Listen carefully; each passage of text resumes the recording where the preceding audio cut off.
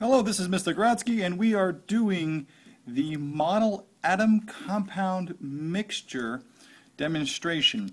Uh, also quiz, and then I'm going to ask some questions a little bit later on in this video regarding uh, what you see in front of you.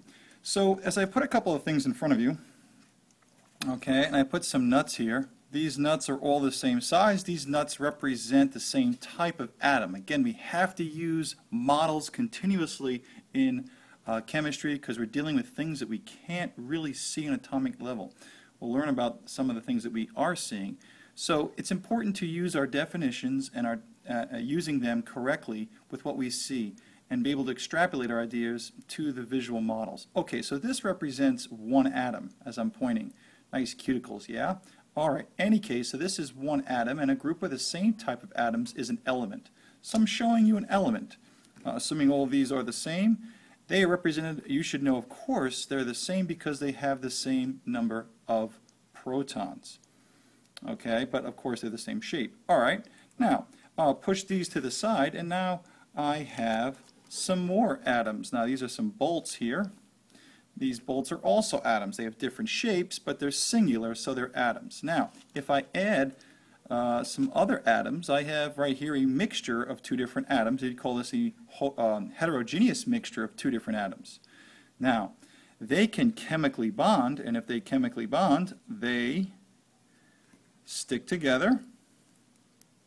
And that's not so far different from what really happens. And now two different elements combine to make a compound. Interesting, maybe. All right, so I have this compound. Let's put the compound to the side. Now notice a compound is, its singular unit is a molecule. A molecule by definition is two different atoms chemically bonded.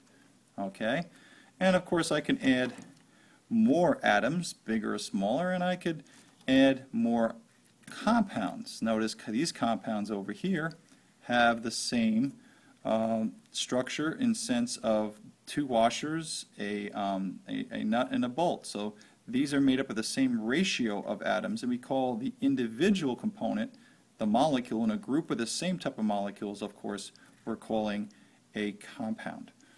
Okay, so this represents a heterogeneous mixture of two different compounds and an element. All right. And I can add some more stuff to the mix. And of course, this is also heterogeneous mixture, in this case, of two compounds and two different elements. All right, so let's go to uh, the quiz portion.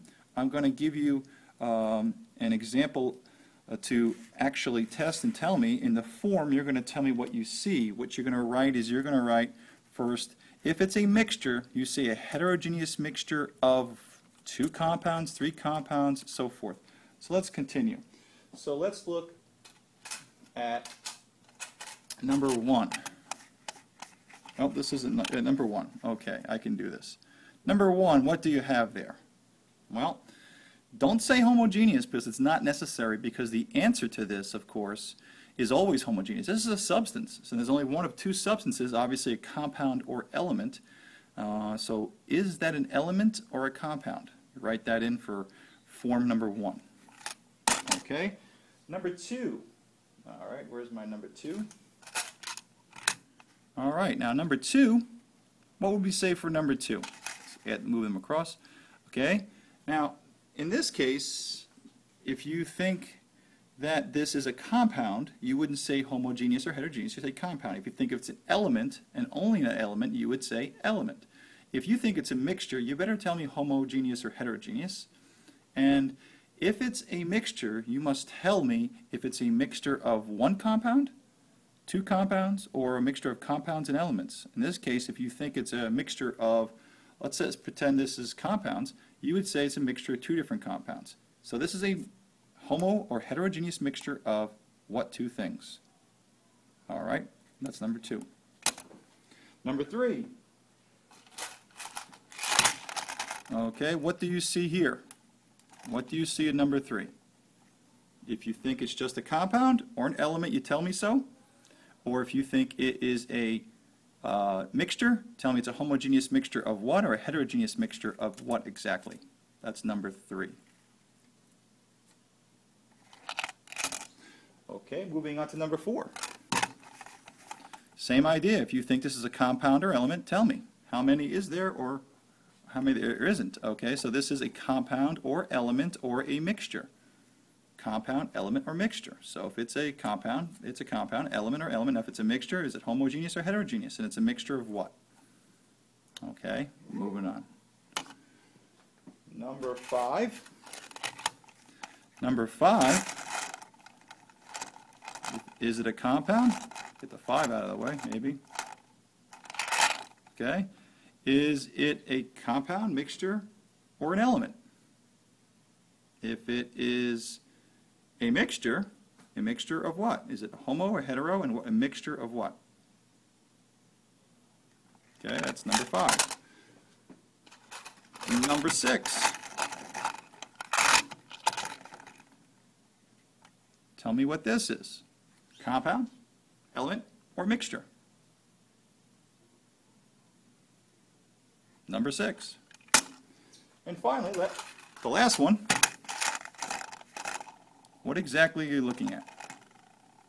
Let me see, so we can see the seven. Okay. Compound, mixture, or element. If it's a mixture or a compound, you tell me. All right. Let's continue on.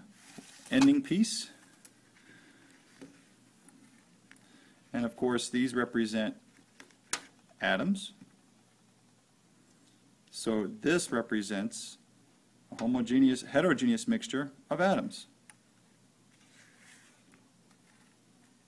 All right. This, of course, as we talked about, is your compound.